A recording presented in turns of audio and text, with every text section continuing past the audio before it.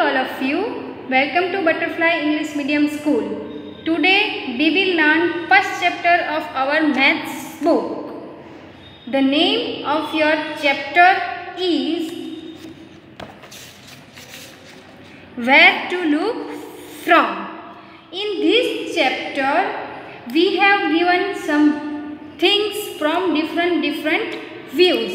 From top views the things looks different. From upper view the things looks different. And then we have given some rangoli patterns to do. Then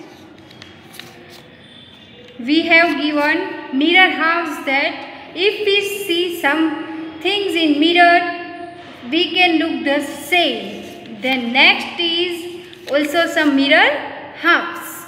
So in this chapter we will understand how the things looks different from different different views.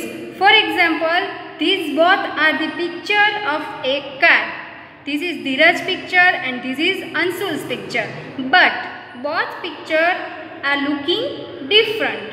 So, this is that because Dheeraj has shown his car from different view and Anshul has shown his car from different view. This is also some picture of cooker. Cooker looks different from upper view and different from lower side. This is also chappals which also looks different from different different side. So and this is the rangoli patterns. You can make some designs by joining the dots and you can also draw triangle, rectangle, square etc. by yourself. This is very easy for you. And then here we have story tit for tat. Then this is the mirror halves. You can see this is triangle.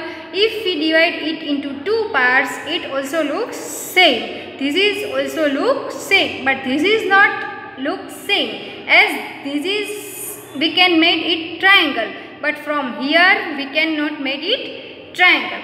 So for more description of this big of this chapter i am also giving you one link. You will see it and after looking that link you will do your homework from your maths workbook page number 5 exercise number 1 and page number 6 also exercise number 1 i will give you solution in next period. Bye bye students